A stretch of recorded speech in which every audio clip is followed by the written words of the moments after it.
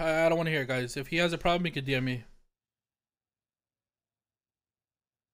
This is what ends up being like causing problems with wars, man.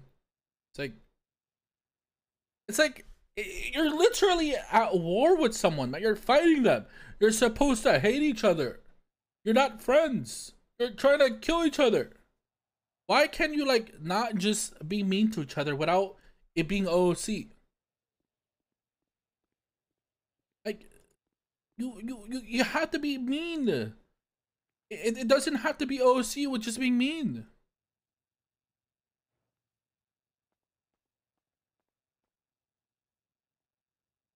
Bro, look at the GG war, bro. We were talking shit about each other, and then we went to go play Valorant together.